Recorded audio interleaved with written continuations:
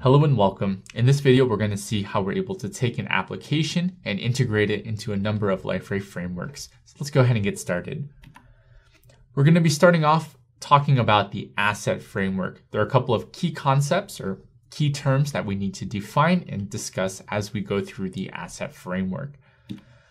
So we've discussed the asset framework before in the content and the Liferay fundamentals course, but as a review, the asset framework is a content related framework that allows for us to aggregate all of the different types of content under one umbrella or one name known as an asset. By leveraging the asset framework, there's a number of key features and functionalities that we gain by using the asset framework. Some of those features and functionalities are things like being able to tag and categorize our content displaying content through the asset publisher, as well as searching for the content as well. So first and foremost, what is an asset? Over in the fundamentals and the content course, the way that I like to explain an asset is simply an umbrella term that encompasses all of the different types of content. So just as things like squares, circles, and triangles are specific types of shapes, so too blogs, web content, and wikis are different types of assets. The way that we look at assets in the backend, on the other hand, is a specific entity that connects or is associated with a specific type of content or again, model entity. With that, it acts like a wrapper and provides some metadata in regards to the content itself. So an asset wrapper object provides some features and functionality for the specific content. In order to display our assets, we need something called an asset renderer. So an asset renderer object is what's used in order to display our assets. The implementing class can be seen here on this slide deck. Now, what is an asset renderer factory? It's basically the factory pattern. So in order to create the asset renderer object, we use an asset renderer factory that creates the object for us. This allows for us to create multiple renderers for an asset type. Let's go ahead and see how all of this ties in together. So let's say we have an asset publisher portlet on the page and it's displaying different types of assets or just different assets. Those different assets have an asset entry that corresponds with it. That asset entry has some metadata within it and then the asset entry itself is referencing the actual content type. So for each one of these things on the far left, a blog entry, web content, and so on, there will be an asset entry object associated with it. In order to display those specific assets, and in turn that specific content piece, we're going to need an asset renderer. That asset renderer comes from the asset renderer factory. Uh, so that's all of the pieces working together. We'll take a brief look at what this looks like in the database. Again, typically you don't need to look in the database, but again, this is just more so for your information. So if we look at a specific asset, in this case, the blogs entry, you can see all of the metadata that is associated with it. There are some that's related to the Liferay instance. As we look towards the middle and the bottom, there's more that's related to the specific asset or content itself. Looking even further, right, this is the asset entry table. Again, a lot of the metadata that we would expect to see from a specific piece of content.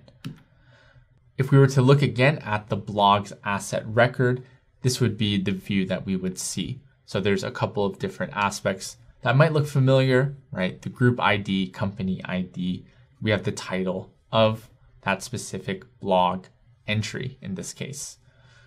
Right, as we go down, we'll see that there is the asset entry that corresponds with the blog entry. So some of the data there lines up, the title, the username, company ID, and so on.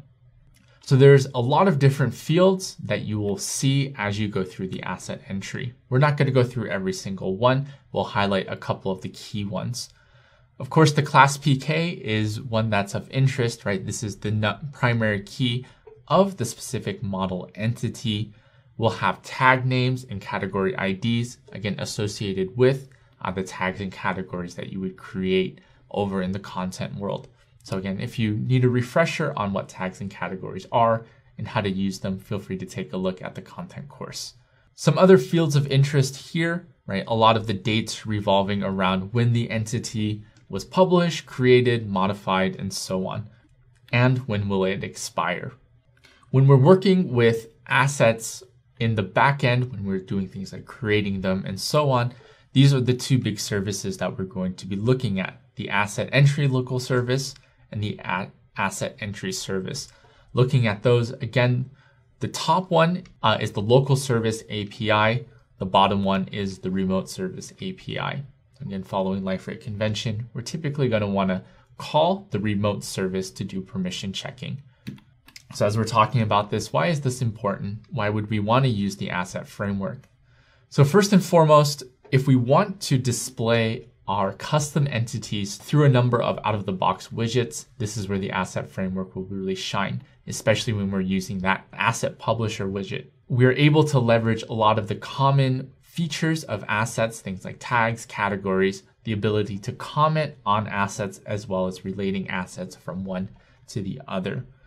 By integrating our entity into the asset framework, we're also able to leverage the search framework as well as the workflow framework. Does take a little bit more, but integrating it into the asset framework is the first step. Along with that, we have the ability to stage our custom entity. So staging again is that sort of preview to be able to work on a site before actually publishing it to the live environment. There's a number of other benefits here, but those are the key ones that I want to be able to highlight. Now looking at an overview of how to integrate our gradebook application into the asset framework, we start off with the first one.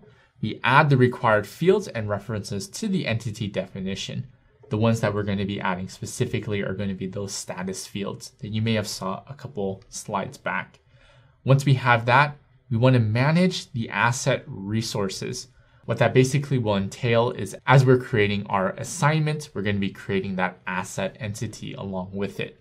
Afterwards, we're going to want to create the asset renderer factory. We want our custom entity to be able to be seen. In order to be seen, we need that asset entry. In order to create the asset entry, we need that asset renderer factory. So that's the next step. After we have the factory, we're going to be creating an asset renderer object that is associated with our custom entity, the assignment.